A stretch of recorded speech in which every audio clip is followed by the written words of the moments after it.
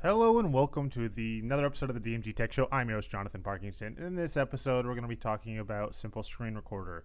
Uh, why am I talking about Simple Screen Recorder? Uh, the reason being is I have upgraded to the 14.04, which a lot of users might, and that is the trusty version of Ubuntu. Uh, the problem is, is in a previous video, I've recommended using Kazam when it comes to screen recorders. Uh, that is because it works really well on everything I believe before 13.04. And so this is going to be simple screen recorder. Uh, it's actually extremely easy to do. Uh, it's very customizable. Uh, you can get a lot of things going on it. Uh, so let's go ahead and get that started. Uh, first thing you're going to need to do, let's go ahead and open up our terminal. And you're going to type in three commands like we typically have to do to install almost any application.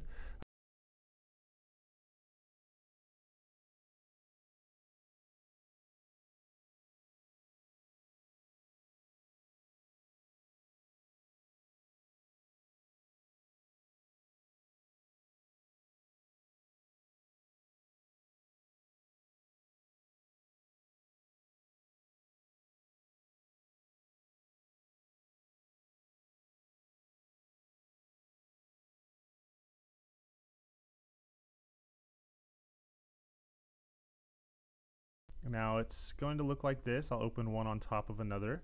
Uh, you're going to pop this, you just come down to continue. Uh, you can come up here, create a profile so you can save all what you're doing uh, for later on, which I recommend doing. Uh, what I have mine set up to is record the entire screen. I left all that the same. My frame rate's left at 30. Uh, 30 is really, really high. Uh, you don't really need it to be at 30. 25, 22, that can work for your simple stuff. If you're going to try to record any games, then yes, you want to kick that up to 30. Uh, if you want to record your cursor, record your audio. Now, if you're going to record your audio from a third-party uh, voice, I, or sorry, microphone, the way I am, I'm actually using a microphone that's plugged in via USB. Uh, you can leave it at Pulse Audio.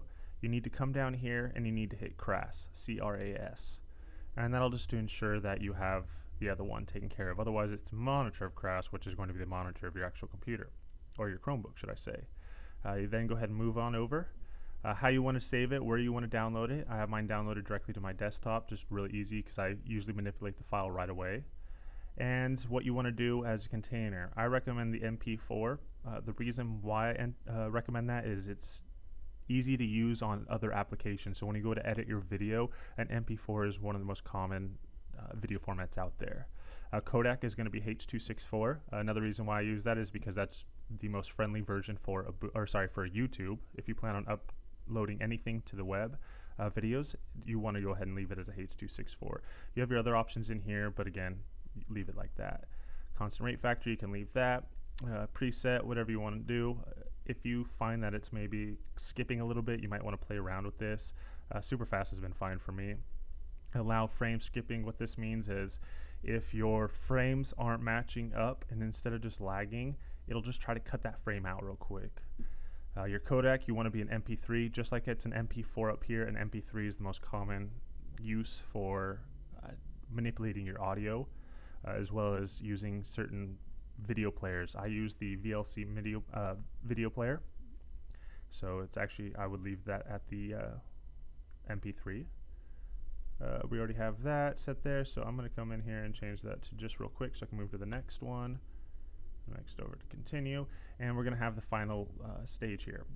Now the cool thing about this is you actually can start a preview. When I click that, you're going to see there's a little preview. So when I move everything around, you can kind of see that in the image. Gives you a nice little thing of what's going on. And that is going to be it. Now again, if you do have any questions or comments, you know where to leave them in the section below. As always, don't forget to subscribe, and thanks for watching.